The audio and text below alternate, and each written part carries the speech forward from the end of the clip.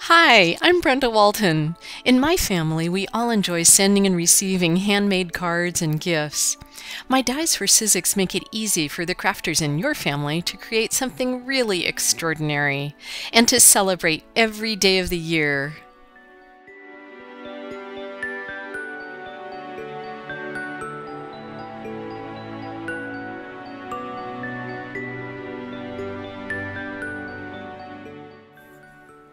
The packaging for the chandelier ornament shows that you're going to make these beautiful three-dimensional fanned ornaments with accessory pieces in the middle and the main ornament itself, which is very highly detailed. The die itself looks like this, and it has five different pieces. The centerpiece, an accessory piece, and the main ornament itself. And these can be used inside of the ornament, suspended inside as well as a star and a flower piece.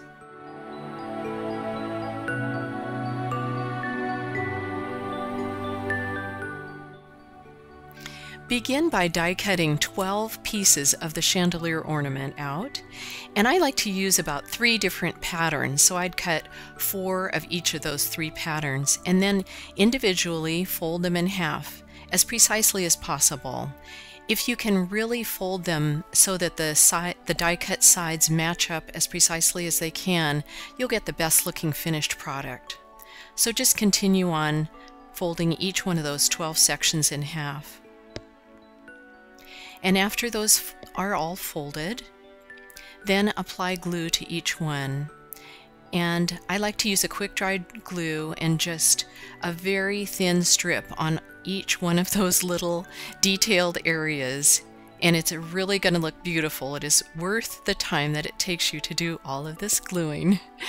And place the next section on top and try to match that up as well as you can. And make sure that those two pieces are making contact all the way down to the very pointed tips and continue doing this until you have stacked all each one of those 12 pieces on top of the next.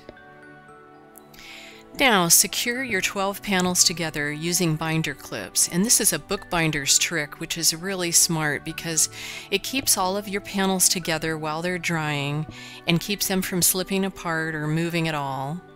And you can let that just sit and not worry about it for about five minutes. And when you come back and it's completely dry, remove the binder clips and then magically you can spread apart your, your panels and it will look beautiful. Sometimes you get a little bit of stickiness happening and just make sure that those get separated and then uh, separate them all so that they look really uniform. And now you can do your little ornament piece. I chose a little flower piece and I cut eight sections out for this. And I'm using exactly the same procedure for assembling it. Stacking one segment on top of the other and trying to match those up the best I can until I get down to the very last, the eighth section. And then that looks really good and then I'm going to just clip the binder clip on that and let that dry for a few minutes and come back about five minutes later and the ornament itself is almost completely assembled except for the very last panel and the reason that I left it is because now I'm going to show you how to make an ornament, a hanging ornament out of this.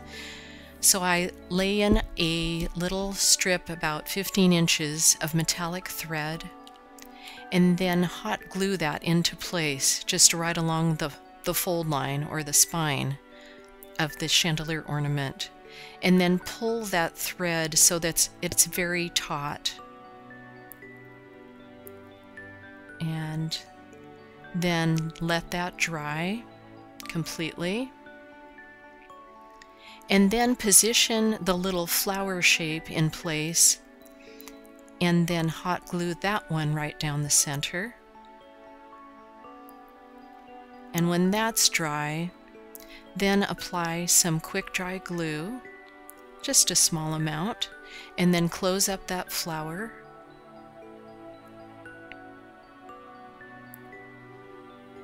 And clip that, and then let that sit for a few minutes.